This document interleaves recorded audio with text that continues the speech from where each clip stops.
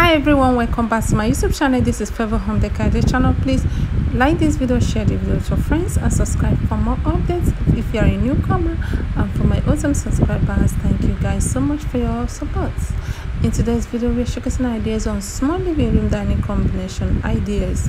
Having a studio apartment or open floor plan that can blend together living and dining area can feel like an interior challenge.